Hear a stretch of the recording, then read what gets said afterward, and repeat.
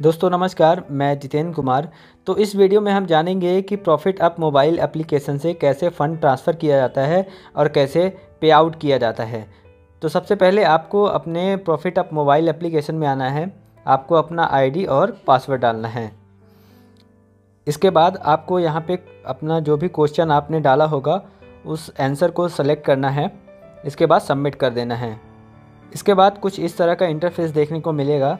सबसे ऊपर left side में आपको होम का बटन दिखेगा उसमें आपको क्लिक करना है।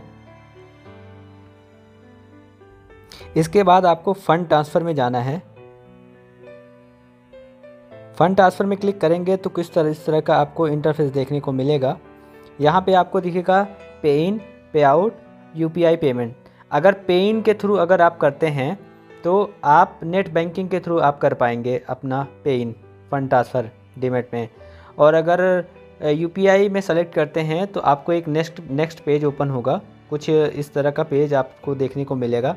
यहाँ पे आपको अपना क्लाइंट आईडी और पैन नंबर डालना है। पैन नंबर जो है कैपिटल लेटर में डालना है।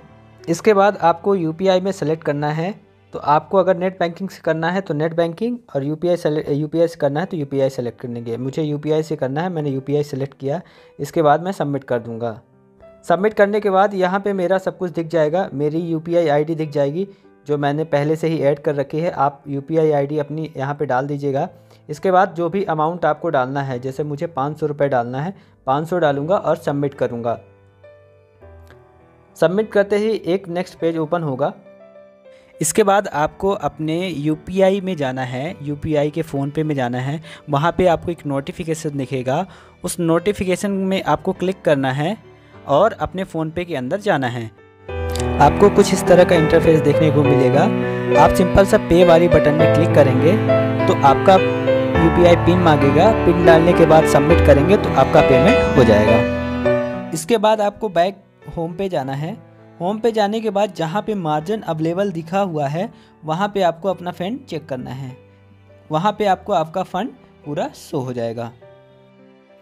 अगर आपको नेट बैंकिंग के थ्रू फ़ंड ट्रांसफ़र करना है तो सिंपल सा आपको होम बटन में क्लिक करना है। फ़ंड ट्रांसफ़र में जाना है आपको।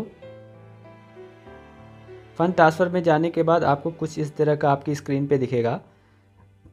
आपको सिगमेंट सेलेक्ट करना है, कैश एफओ सी मतलब कैश फ्यूचर और करेंसी।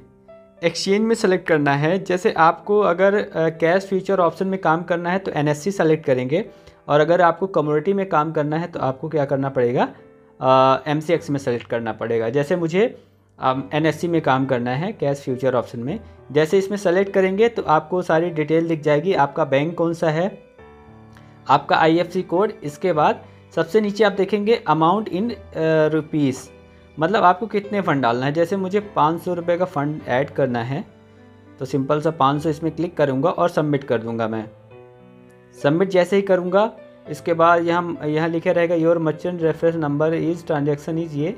इसके बाद ओके में क्लिक करूँगा, एक नया पेज ओपन होगा, ये देखें, इस तरह का पेज ओपन होगा, ठीक है? यहाँ पे आप अपना मोबाइल नंबर आप डाल दीजिए, डालना है तो डालिए, ईमेल आईडी डालिए। इसके बाद पे यूजिंग नेट बैंकिंग में आपको क्लिक करना है। जैसे ही आप क्लिक करेंगे तो आपको कुछ इस तरह का इंटरफेस देखने को मिलेगा। तो आप यहाँ पे अपना यूज़र आईडी पासवर्ड डालिए, इसके बाद लॉगिन कर लीजिए। लॉगिन करने के बाद डायरेक्टली आप उसमें सबमिट में क्लिक करेंगे, आपको एक ओटीपी आएगा, उस ओटीपी को डालिए और आपका पेमेंट प्रोसेस हो जाएगा। इसके बाद बैग जाके आप मार्जिन अवेलेबल में अपना फ़ंड चेक कर सकते हैं कि कितना आया फ़ंड कि नहीं आया। अगर आपको पे आउट करना है तो सिंपल सा आपको होम बटन में क्लिक करना है। आपको फंड्स में जाना है।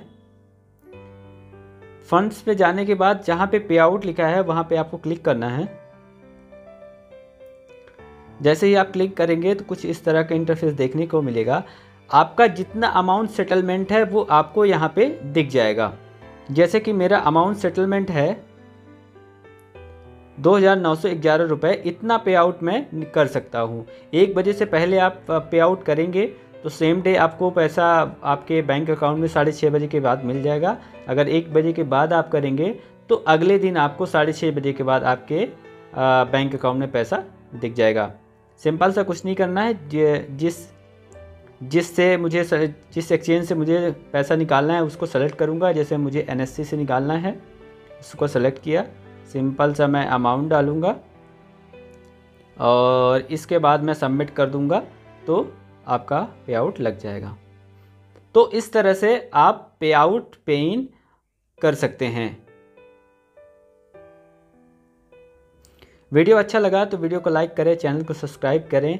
ऐसी ही और वीडियो देखने के लिए हमारे चैनल के साथ बने रहें।